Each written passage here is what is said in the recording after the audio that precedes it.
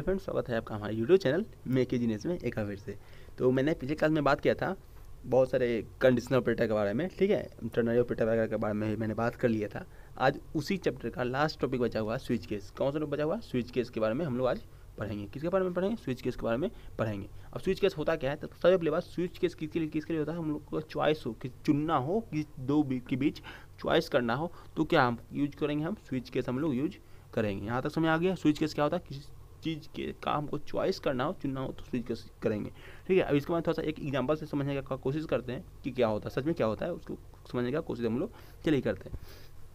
मानते हैं राम एक लड़का, ठीक है, राम राम एक लड़का है, वो क्या किया एग्ज़ाम दिया टेंथ क्लास का, ठीक है, उसका नंबर आया तीन सौ पच्चीस नंबर आया, ठीक, कितना है, तीन सौ पच्चीस नंबर आया। अब उसको बताना है, हम लोग को बताना है कि तीन सौ पच्चीस नंबर आएगा। अब बताना है कि वो कितना ग्रेड थोड़ा सुनिएगा ध्यान से अच्छा से समझ में आएगा। राम नाम का लड़का था टेंथ क्लास का एग्ज़ाम दिया। उसको तीन सौ पच्चीस मार्क्स आया। ठीक है उसको हमको ग्रेड बैठ बैठाना है कि कितना वो ग्रेड आया है। ग्रेड ए में है बी में है सी में है डी में है। ठीक है, अब यहाँ पे है ग्रेड ए जो है, चार सौ से पाँच सौ के लिए है। ग्रेड बी जो है, साढ़े तीन सौ से चार सौ के लिए है। और ग्रेड सी जो है, तीन सौ से साढ़े तीन सौ के लिए अब जो क्या तीन सौ पच्चीस आया था। किसमें किस तीन तीन सौ से साढ़े तीन सौ के बीच में तो कौन सा ग्रेड में आया? सी ग्रेड में आया। यहाँ से हमको बस यहाँ से मान चला कि हाँ ए ए में इतना था बी में इतना था सी में इतना था। इसका नंबर तीन सौ पच्चीस नंबर आया था सी वाले में मिल रहा है। सी वाले के अंदर इसका नंबर आ रहा है। ठीक है तो सी ग्रेड में आ गया। फिर बस उसी चीज़ को यहाँ पे प्रोग्रामिंग में दिखाना है है, बताना है। सिर्फ़ हम लोग वहाँ पे नंबर पुट करें कि हाँ राम का तीन सौ पच्चीस नंबर आया। तो यहाँ पे अपने, आपको इसका आंसर अपने आप दे देगा हाँ इस सी ग्रेड में है। ये अपने आप बताएगा आपको आप जो इतना दिमाग लगा रहे हैं कि इतना इतना नंबर था इतना, सब दिमाग यहाँ पे आपको प्रोग्रामिंग लगाएगा और आपको ये चीज़ बताया कि हाँ ऐसा ऐसा था। ठीक है? ऐसा, ऐसे ऐसे वाली बात हो गई। ठीक है? चलिए, अब उसको समझते हैं कि कैसे कैसे करेगा। ठीक, अब यहाँ पर देखिए, मैंने लिखा है, मैंने एक प्रोग्रामिंग टाइप लिखा है, वहाँ पर सब समझ में आइएगा या मैं स्विच कैसे लिखा? ठीक है, स्विच कैसे यहाँ से शुरू किया? स्विच को स्विच कैसे शुरू करेंगे? अब स्विच स्विच स्विच कैसे लिखा?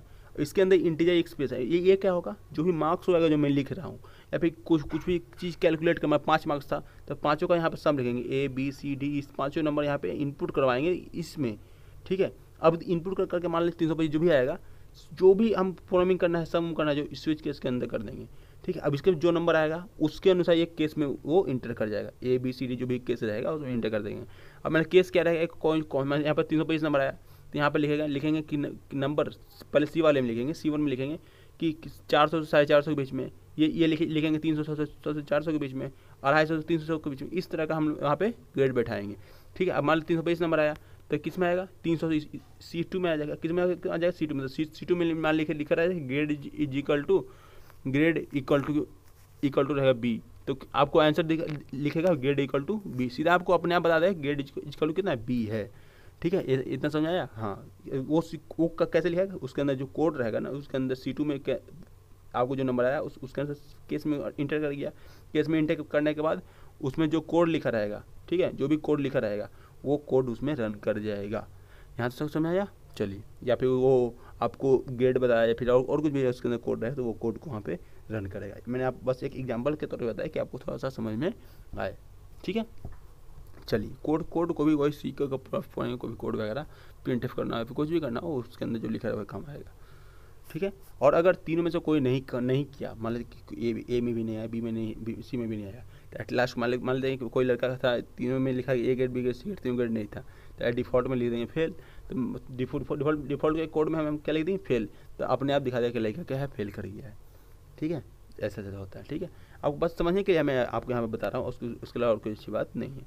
मैंने जो बोला उसी को यहाँ पे लिखा हुआ है। The value of integer expression is matched against C one C two C three it is matched any of these cases वही आपको आप वो तीनों में से किसी से भी मिल सकता है। कैसे मिल सकता है? जो आपको लिखा रहेगा उस, उसी के अनुसार। That as along with all subsequent case and default statement are executed ठीक है? वो कि पहले सी वन सी थ्री से मिल सकता है। ठीक है? जो भी आपका नंबर है उसको मिला लेगा मिला लेगा मिला लेगा जिसमें मिलेगा उसमें वो एक्सिक्यूट कर जाएगा। अगर यहाँ पे लिख रहा है अगर वो तीनों में से किसी से किसी से मैच नहीं करता है तो किसमें चल जाएगा अपने आप? डिफ़ॉल्ट में चल जाएगा। डिफ़ॉल्ट में जो चीज़ लिखेंगे उसको रन कर देगा। समझ में आ रहा है? हम्म, इस टाइप का रहेगा। मैंने इसको लिख बताया शायद एंड स्विच कैसे use to when we have to make choice between number of alternative बहुत सारे नंबर जो दिया हुआ है उसको बीच के चॉइस को चुनने के लिए जो होता है स्विच के हम लोग यूज़ करते हैं। ठीक है यहाँ पे मैंने एक क्विज टाइप का यहाँ पे लिखा है देखिएगा write a program to find grade of a student grade of a student given his marks based on below. इसके अनुसार बोले कि A A grade, B grade, C grade, D grade के अनुसार, किसी भी स्टूडेंट का मार्क्स को हमको लिखना है, उसके लिए प्रोग्रामिंग वगैरह लिखिए। वो करना था। ये तो वही वाला बात होगा कि एक कर देंगे कि केस ए कर देंगे केस वन में ए ए ले देंगे, केस बी में बी ले देंगे, केस केस सी में सी ले देंगे, केस डी में में डी ले देंगे।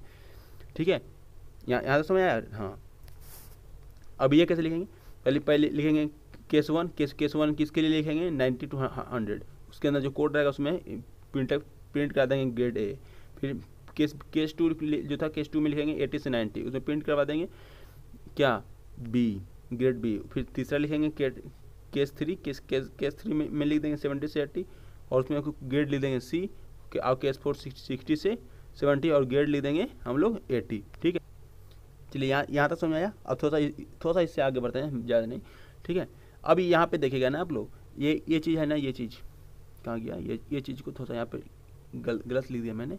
लेस देन सिक्सटी कर दीजिएगा less than sixty equal to fail के लिए। ठीक है अब देखिए अगर मेरा जो भी मैंने प्रोग्राम लिखा, ये चारों प्रोग्राम उसमें रन नहीं करता, ये चारों प्रोग्राम उसमें मैंने लिए लिखा वो रन नहीं करता, चारों के उसमें नहीं आता है। तो बाय डिफ़ॉल्ट के लिए हम ये लिख देंगे बाय डिफ़ॉल्ट में ये आ जाएगा, ठीक है? बाय डिफ़ॉल्ट में मतलब किसी का स्टूडेंट का नंबर इतना से कम आता है लेस देन सिक्सटी आता है तो उसको अपने आप क्या दिखा देगा कि वो बच्चा फेल है, ठीक है? यहाँ तो समझ आया? इस कोशिश कीजिए कि ये प्रोग्राम को लिखने का ये कि ये प्रोग्राम आपसे लिखा है। नहीं, नहीं लिखा है कोई बात नहीं मैं आपको प्रोग्रामिंग भी बताऊँगा। पहले मैं आपको प्रोग्रामिंग का सारा बेसिक्स बता रहा हूँ कि जिससे आपको प्रोग्रामिंग समझने में सब कुछ आसानी हो इसलिए मैं इस इस चीज़ को मैं बता रहा हूँ। ठीक है? तो चलिए अब थोड़ा सा और आगे बढ़ते हैं।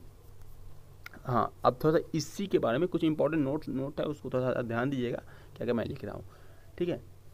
यहाँ पर मैंने लिखा पहला सबसे पहले we can use switch case statement ever by writing case in any order of our choice not necessary ascending हम लोग किसी ऑर्डर में लिख सकते हैं, ठीक है? हम लोग जो यहाँ पे मैं लिखा था कि असेंडिंग ऑर्डर पे descending order ninety to hundred eighty to ninety हम इसको नीचे भी नीचे भी लिख सकते थे, हम इसको यहाँ भी लिख सकते थे, इसको यहाँ भी लिख सकते थे, इसको यहाँ भी लिख सकते कैसे भी हमको लिखें, उससे कोई फ़र्क इसमें नहीं पड़ेगा, ठीक है? कैसे भी लिखें, इसमें कोई फ़र्क वगैरह नहीं पड़ेगा, हम लोग हम लोग किसी भी तरह से लिख सकते हैं, ठीक है? अच्छा यहाँ पे उसके बाद लिखा character value are allowed as there can easily evaluated to to an integer यानी कि कैरेक्टर वैल्यू भी इसमें अलाउड वगैरह रहेगा, जिससे हमको किसी भी चीज़ को इवेल्यूट करने में, कोई इंटीजर को इवेल्यूट करने में आसानी पड़ सकता है। ठीक है? अच्छा अगला देखिए। अगला क्या मैंने क्या लिखा है? A switch can occur within another but but practice they is really done ठीक है? मतलब मतलब कि एक स्विच केस के अंदर दूसरा स्विच केस भी हो सकता है। मतलब एक स्विच केस का पे हम लोग वर्क कर रहे हैं और उस, उसके अंदर दूसरा स्विच केस का भी काम हम लोग कर सकते हैं। मैं स्विच के अंदर भी स्विच हम लोग ले सकते हैं। लेकिन वो प्रोग्राम बहुत ज़्यादा लेंद हो जाएगा और बहुत बड़ा भी हो जाएगा। लेकिन वैसा कभी हो जल्दी हम लोग ऐसा कोई प्रोग्रामिंग देखते नहीं है बट अगर कहीं पर देखे तो वो प्रोग्रामिंग गलत वगैरह नहीं हो सकता है। ये बात बस आप लोग ध्यान रखिएगा। कभी आपको एग्ज़ाम वगैरह में दे दिया ऑब्जेक्टिव आ रहा है कि स्विच के अंदर अंदर स्विच तो देख, घबरा नहीं जाना। है और देखे, ये नहीं मतलब कि गलत है। गलत नहीं हो सकता। स्विच के अंदर स्विच हो सकता है, वो कंडीशन पे डिपेंड करता है, ठीक है?